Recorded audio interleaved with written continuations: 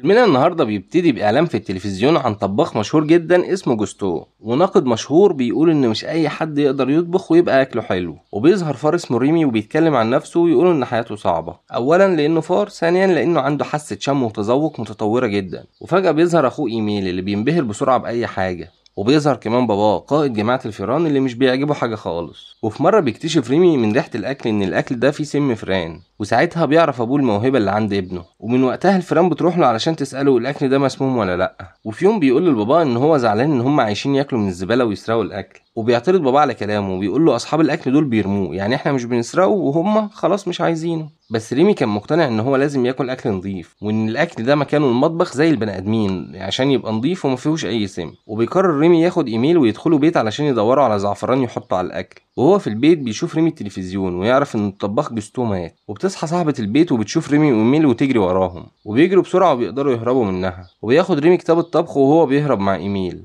بس ريمي وهو بيهرب بيتوه ويقع في المية وبيحاول ينقذ نفسه بالكتاب لحد ما بيوصل لمواسير الصرف. ولما بيطلع من المية بيقعد يقلب في صفحات الكتاب وبيتخيل إن هو بيتكلم مع جوستو وخيال جوستو بيقول له أنت لازم تطلع بره المواسير دي وتشوف العالم وتنسى اللي حصل. بيطلع بعدها ريمي للشارع وسط البيوت وبنتفاجئ إن هو في مدينة باريس. وبيلاقي مطعم جوستو وبيفرح جدا. وبندخل جوه مطبخ المطعم والطباخين شغالين كلهم وبيدخل عليهم الشيف سكاتر. وبيلاقي واحد قاعد في corner وبيعرف إن هو ابن واحدة صاحبتهم قبل كده كانت شغالة معاهم وماتت. وبيقدم لنجويني الواد الصغير الجواب لسكاتر سابته أمه ليه علشان يساعده إن هو يلاقي شغل في المكان ده. فبيقرر إن هو يعينه عامل نظافة ولما كان ريمي واقف فوق بيتفرج على المطبخ بيقع جوه حوض الغسيل بتاع الأطباق. وبيخرج منه بسرعة وبيحاول إن هو يستخبى ويجري لغاية ما يوصل للحلة اللي فيها الشوربة اللي بوظها لينجويني. وبيحط فيها بهارات وحاجات علشان تظبط طعم الشوربة بس فجأة بيلاقي لينجويني قدامه وبيحاول يهرب بس لينجويني بيحبسه في مصفى. ويدخل مساعد الطباخ يسأله على الشوربة خلصت ولا لأ وبيجي الشيف يزعق لينجويني فاكر إن هو اللي لعب في المكونات بتاعتها. بس الجرسون كان خلاص خد الشوربة ومشي والشيف بيحاول يلحقه علشان ما يقدمهاش للزباين بس ما بيلحقش. وطبعا بيطرد الشيف لينجويني بس بعدها الجرسون بيروح للشيف ويقول إن الزباين بيسألوا عليه. وبيروح الشيف والجرسون للزبونه اللي بيلاقوها ناقده طعام مشهورة والأكل عجبها قوي مع إن الشيف كان متضايق جدا من لينجويني بس تاتو بتقول له ما ينفعش إن هو يطرده وكمان الناقدة عجبتها الشوربة وهتكتب مقالة عن المطعم. فبيقول لها خلاص ما دام انت مهتمة بمستقبله المهني قوي كده انت اللي هتكوني مسؤولة عنه. وبيقول لينجويني إن أنت هتعمل الشوربة دي تاني وهراقبك وهشوفك أنت بتعمل إيه. وريمي بيحاول يخرج من المطبخ الشيف بيشوفه وبيقعد يزعق ولينجويني بيمسكه والشيف بيقول له ارمي الفار ده بعيد.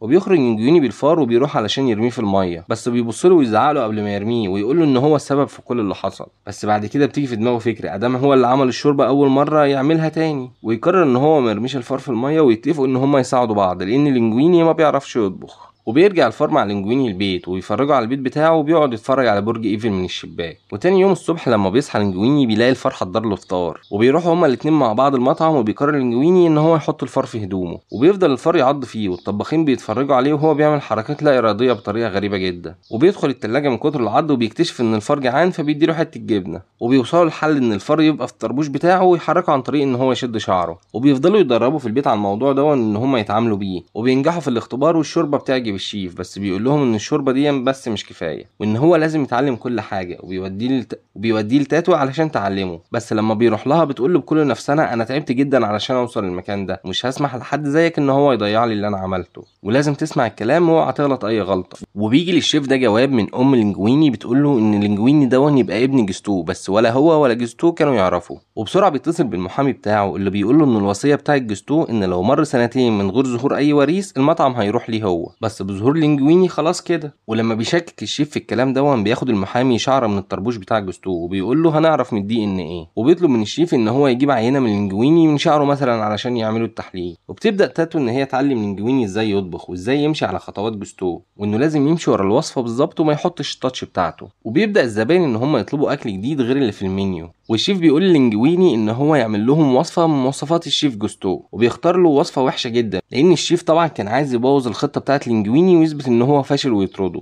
وبيبدأ لينجويني إن هو يحضر الوصفة بمساعدة الفار. وتاتو كانت المفروض إن هي بتشرف عليه بس الفار بيعمل اللي هو عايزه وتاتو بتتضايق. بس الوصفة بتاعت الفار بتعجب الزبائن قوي وبيبدأ الزبائن كلها إن هي تطلب الوصفة دي. وبيلاحظ الشيف الفار جوه طربوش لينجويني وبيخرج ساعتها لينجويني علشان يريح الفار بره. وبيدخل تاني من غيره والشيف بيشيل الطربوش بتاعه بس ما بيلاقيش حاجة. وفجأة ريمي بره بيشوف أخوه إيميل وبيروح يحضنه وبيلاقيه بياكل من الزبالة. فبيدخل ريمي المطبخ علشان يجيب له أكل من التلاجة ولما بيرجع له بيحاول يعلمه إن هو يستطعم الأكل. وأخوه بيقول له إن هما لازم يرجعوا للمستعمرة ويقول لأهلنا إن أنت لسه عايش. وبيرجعوا للمستعمرة اللي بيحتفلوا برجوع ريمي لكن ريمي بيقول لأبوه إنه مش هيفضل قاعد معاهم. وإن على فكرة إن البشر مش وحشين للدرجة اللي أنت كنت متخيلها. وباباه بيستغرب من كلامه وبيقول له تعالى معايا وأنا اوري لك حاجة. وبيلاقي قدامه مصيدة فئران وسم وبيفكروا إن الحاجات دي اللي بيستخدمها البشر ضدهم. لكن الفار بيصمم على رأيه وانه لازم يرجع المطعم للينجويني. وبيدخل جوه الطربوش وبيحاول إن هو يحركه. وهنا بتدخل تاتو تسال لينجويني عن اجتماعه مع الشيف. واللينجويني ما بيردش عليها لأنه أصلا نايم فبتضربه بالقلم وتقول له أنا ما كانش ينفع إن أنا أساعدك لأنك بتتقرب للشيف وعايز تاخد مكاني. وهنا بيفوق لينجويني ويصحى ويقول لها أنا أصلا ما بعرفش أطبخ وإن كل اللي حصل ده كان بالصدفة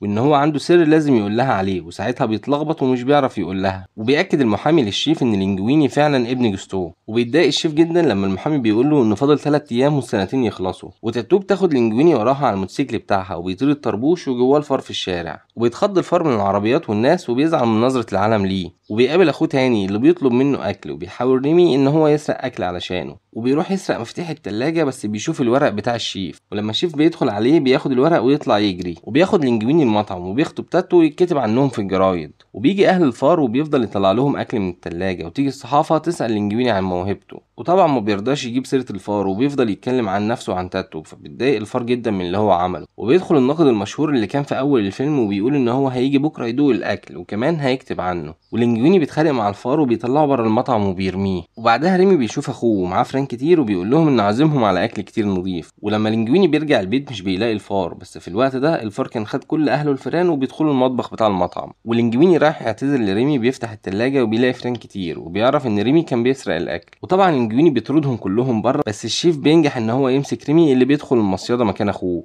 وبيوصل الناقد المطعم وبيطلب أكل وبيطلب من لينجويني إن هو يقدم أحسن حاجة عنده. وبيجي أبو ريمي وينقذه من القفص وريمي بيقول لهم أنا لازم أرجع المطعم علشان أساعدهم. وفي المطعم الدنيا كانت مقلوبة لأن لينجويني مش عارف يطبخ من غير ريمي. وبيوصل ريمي والطباخين بيحاولوا إن هم يقتلوه بيوقفوه لكن لينجويني بيحكي لهم الحقيقة. بس طبعا المساعدين كلهم بيسيبوه ويمشي حتى تاتو. وبيجي أبو ريمي ليه ويقول له إحنا هنساعدك وإن أنت واحد مننا. وهنا بيدخل مفتش الصحة اللي بيلاقي الدنيا مليانة فران فريمي بيطلب منهم إن هم يوقفوه وبيطلب من باقي الفيران إن هم يساعدوه في الطبخ. وبيروح لينجويني يقدم الأكل للزباين والناحيه تانية ريمي كان بيشرف على الفيران اللي بتطبخ في المطبخ. وبترجع تاتو تساعدهم وبيقرر الفار ريمي إن هو يعمل طبق جديد. ولينجويني بيقدم الطبق للناقد وهو خايف بس لما بيدوق بينبهر بطعم الأكل وبيشكر لينجويني عليه. لكن لينجويني بيقول له إنه مش هو اللي طبخ وبيروح يجيب تاتو والفار وبيحكي له القصة كلها. ويكتب إيجو مقال يقول فيه إنه مش أي حد يقدر يكون طباخ لكن الطباخ ممكن يكون من أي مكان. وإنه منبهر من العبقري اللي بيطبخ في المطعم بتاع جوستو واللي بيعتبره أحسن طباخ في فرنسا كلها.